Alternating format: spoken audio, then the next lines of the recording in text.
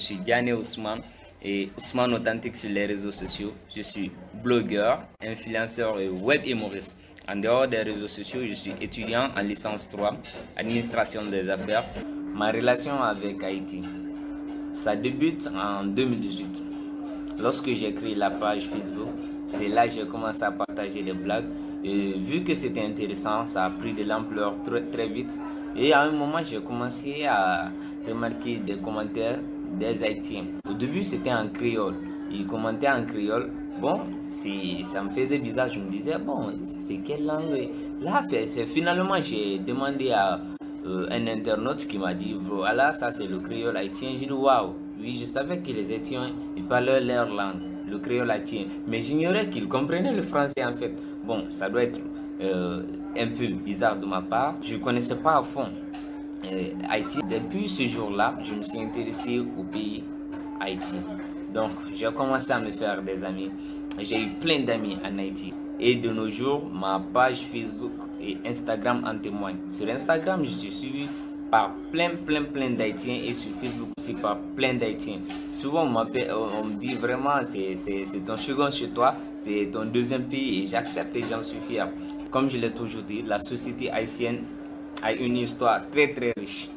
A une histoire très très riche. Alors, ce que je connais, euh, je ne pourrais pas tout dire parce que depuis l'école primaire, mais je sais que c'est nos parents, nous Africains, nos parents africains qui ont été déportés en Haïti. Donc, euh, ça fait de nous des frères et tout. Et si, sans doute, vous l'aurez remarqué sur nos blagues et autres.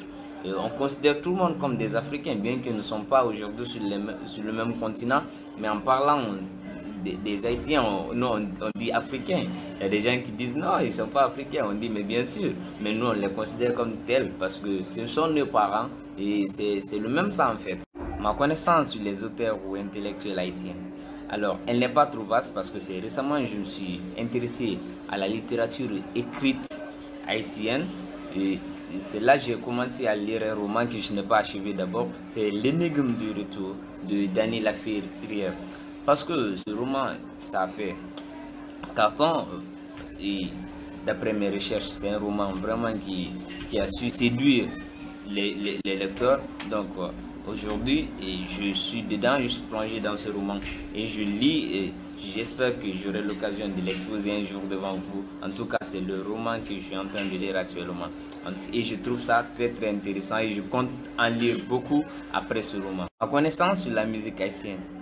Alors là, je suis pas trop dans la musique traditionnelle, mais la musique moderne et urbaine haïtienne qui m'intéresse beaucoup, euh, notamment l'artiste Darlene Desca ou Rutzel. Rutzel, c'est une star internationale, donc forcément qu'on le connaît en Guinée ici.